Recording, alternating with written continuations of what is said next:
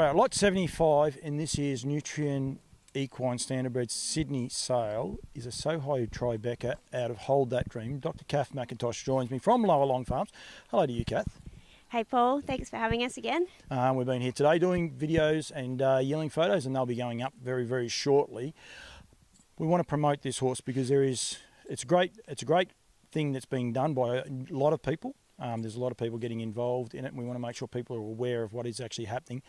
This filly here is lot 75 in the Sydney sale. There is also lot number 673A, who will be offered up all for Pancare and the Pancare Foundation. Sorry, I should say in Melbourne sale, yep. um, that other one. We're not going to talk too much about that horse there. Both fillies are by Soho Tribeca. That's right. Both fillies are raising money for Pancare and the Pancare Foundation, and 100% of everything these horses make is going to Pancare and the Pancare Foundation. Other than that, they're obviously two different fillies, but um, that's about, about, the way it's going to work, isn't it? Yeah, that's right. So, yeah, this filly will go up to um, Sydney, and all proceeds from her sale will go to the Pancare Foundation to raise money for upper gastrointestinal cancers, um, which includes, you know, stomach, biliary, liver, esophageal. Um, you know, these cancers have some of the highest mortality rates, and um, yeah, we need to increase some awareness around that. And, and I think it's a really great initiative um, and something as breeders that we can really support. But I think something to note about this filly in particular is um, a bit of a, a, bit of a backstory behind yeah, her. You're saying and that. it's uh, yeah, it's quite um, yeah, it's actually when you, when you think back, it, it it's really um, quite a, a, great connection. So the dam of this mare is um, Hold That Dream. And uh, a few years ago, um, uh, I'm sure a lot of people in this industry are, are very aware of um, George and Mary Tennant. Um, unfortunately, George passed away early in the season last year, um, but he's certainly um, through his uh, you know generosity and passion for the industry is inadvertently um, you know still contributing through this filly. Yep. And how that come about was um, you know I'd only I'd met George you know a handful of times at the sales and uh, and at, at various fun race races around the place and you know George was always very passionate about breeding and um, you know he had the She's All Rock was one of his you know greatest breeding um, feats uh, to take note of and you know she won three Group Ones uh, Which yep. is um, pretty amazing. And anyway, uh, one day I got this manila envelope in the mail, and uh, inside was a handwritten uh, letter from George, and it had uh, a photo of the mare hold that dream, and, and a photo of some of her offspring, and also a handwritten, you know, her pedigree, um, what each of her foals had done, and a few comment recent comments from trainers about her progeny and uh, he basically said, "I'm, I'm sending. I've booked the ferry to come next week. I've booked the transport to come after the ferry has been, and I'm sending you up this mare um, on the condition that I bred her to Malmara." And it just happened to be the first year that we're standing Malmara. So you know, I got on the phone to George and I said, "Oh, that's lovely, George. Thank you very much." And he um, yeah, he signed the, the mare over to me, sent her up as he'd promised, and, and we bred her to Malmara. Um, and last year we took that Malmara colt. He was a stunning colt. Yep. He was um, through the Melbourne Nutrien sales. And uh, fortunately, yeah, George was, was there to see him and uh, was very proud of, you know, the, the, of the progeny of the breeding that he instigated. Yep. And uh, anyway, uh, obviously, when she had that Malmara um, colt at foot, um, I bred the mare to Soho Tribeca, which is also his first year you know, standing with us. Um, it makes this filly eligible for the Vic Bred Pure $12,000 bonus. Um, and uh, yeah, and then you know once we sort of started going through this idea of, of you know having a charity to to contribute or raising money for different charities each year through the sales and the breeding. Um, yeah, I thought that this you know filly would be a lovely filly to offer up, and and you know it just goes back to, to the kindness and the, the passion that, that George had uh, for the breeding industry. So um, you know it's sort of the gift that keeps on giving. Was George alive when you when you decided with this idea? Was he? Uh, no, he wasn't. Unfortunately, he'd be yeah. pretty proud of it, though, wouldn't he? Yeah, I think so. And uh, you know, and I just think you know that's what our industry is all about. You know, we sort of um, keep giving back. Uh, you know, um, there's so many people.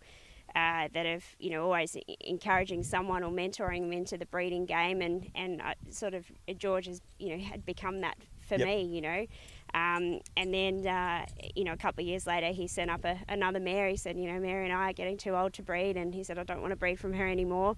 Um, you know, I'll send her up to you to breed and uh, as well. So, um, you know, he's he's shown me a, a, a, pathway into breeding too. I mean, I obviously see that through a lot of my clients and and what they breed to, but um, yeah, this this filly is a bit special, and uh, she's you know, is you know, she's come up terrific in her prep, and she'll present really nicely in Sydney, and um, she's a lovely walking filly, and I think she'll make a, a nice um, horse for someone. Encourage people to go and have a look at her. She's lot 75. She, she will be up on the Nutrien site by then. Beautiful walking filly. I ain't making that up. Anyone watches the videos, unless the videographer hasn't done his job properly, you will see what a, what a stunning walk she does. The, the thing behind this horse too, though, is something that is truly harness racing. I think harness racing just do an enormous job, but people getting behind it. And I said about there before, about 100% of the proceeds, Nutrien will not be taking anything. I'm not charging for the videos. The truck driver's not charging. It, it, there's just flow-on effect of people donating, which is what we do so well. With 100% of those, everything this filly makes, going, as I said, back to the Pancare and the Pancare Foundation, which is something very close to your heart and a lot of other people. And it's a, it's a shocking disease. What is it? 11% of people survive um, with the disease. Yeah, or, you know, past five years. Yep. Like, so Sorry, it's, yeah. A, yeah, it's a really um, high mortality rate, and that's why we need to create um, or, you know, have some funds. I mean, you see things through uh, for M and D, you know how much money has been raised there, and, and the, the leaps and bounds they've made in, in detection and treatment and, and options for people with you know that's a, a horrific disease. Yep. So you know if we can help contribute um, to uh, Pancare, then you know maybe in five years or so, um, you know we'll you know we'll be able to have an impact on on other people's lives. Um, we've also, apart from, uh, we've got a one minute to dream Soho Tribeca filly, which yep. is uh, for Melbourne. Uh, apart and we, from, and we will do another one similar to these, making sure people are aware of it and uh, know what they're actually getting in for when they buy this horse. Because yep. I think a lot of people will buy the horse and not be aware, you know, that everything else that is happening. So we want to make sure they are. Yeah, and uh, we're also running a raffle, so um, raffle tickets um, available from us or at the sales, um, and in you know various like in in the Golden Valley, various um, shops and businesses around here as well. We'll be selling them, but um, some pretty amazing prizes there. There's a um, seven day trip for two, all expenses paid to a, a resort off uh, Vanuatu. Yep.